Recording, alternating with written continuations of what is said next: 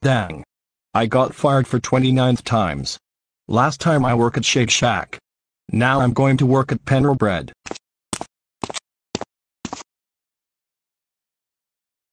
Welcome to Panera Bread. How can I help you? I would like a bacon, egg, and cheese on a ciabatta. Sorry. A bacon will turn you into a pig. What? No, they won't. Yes, they will. Now get out of here. Fine.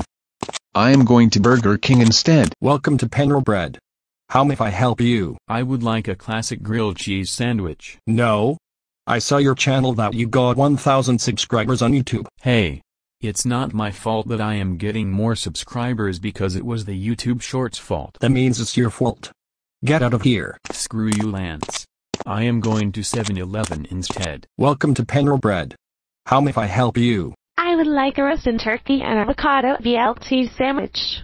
No. I seen you in Pizza Hut before. Fine. I am going to a different Panera Bread.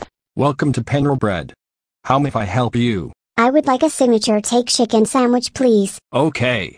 That will be $999. Hey, that's the wrong price. You'd be paying $999 or get out of this place. Your choice. Fine, I'm out of here. Lance. How dare you be mean to the customers? That's it. You're fired. Get out of here before I call the cops.